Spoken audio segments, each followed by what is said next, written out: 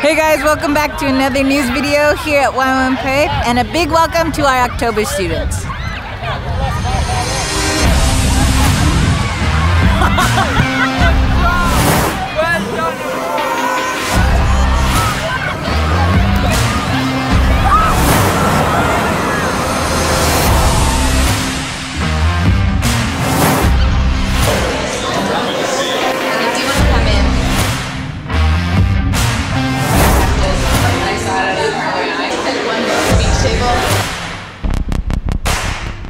Here at YWAM we start every DTS with hearing God's voice and nature and character. So let's see what people have been hearing.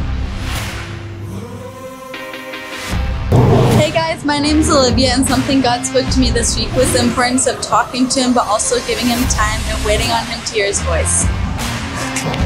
Hey guys, my name is Elijah. Last week, God spoke to me through the verse Isaiah 41:10, which talks about how He strengthens us, which was something I really, really needed to hear.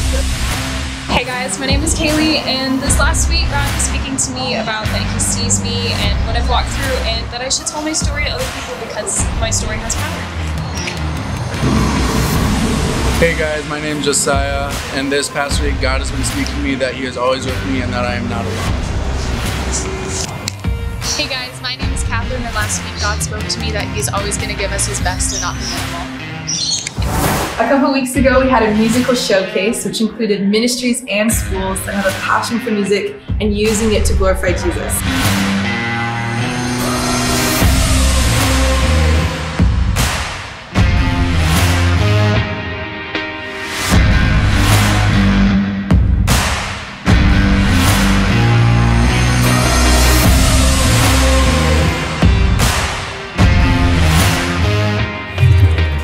Sweet, that's it for us for YWAM Church News. You can check us on our next video.